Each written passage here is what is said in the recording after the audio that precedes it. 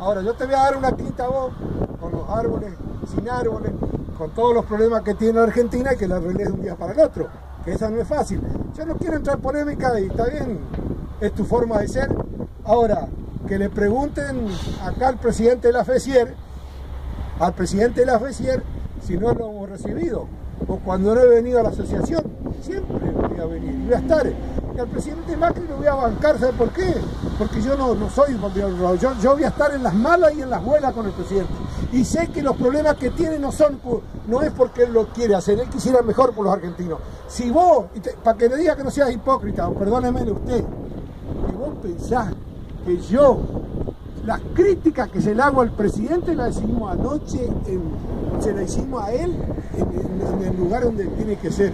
Pero yo no voy a debancar a una persona para debilitarlo. Y no lo va a hacer ningún legislador. Lo vamos a bancar porque vamos a sacar un país adelante. Usted puede pensar, y si no, le digo que metete en un partido político, militar, ganar las elecciones, ya que querés ganar. Yo vine por el tema de los juicios laborales y que me comprometí a laburar por eso. Si vos querés cambiar la política, metete en un partido político, armalo y luchala de ahí, como me dijeron a mí. En el 2008 una señora dijo, hagan un partido político. Nos metimos en un partido político, a lo mejor no sale como ustedes vos querés. Como, bueno, si te me agarrás para la risa, entonces me invitaron a mí a hablar, me está agarrando para la risa. Yo te quiero... Bueno, pero te quiero explicar, te quiero explicar.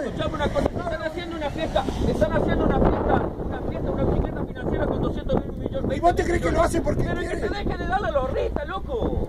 ¿Cómo vas a seguir defendiendo a un presidente que está fundiendo a todos los que trabajan? La política, hay que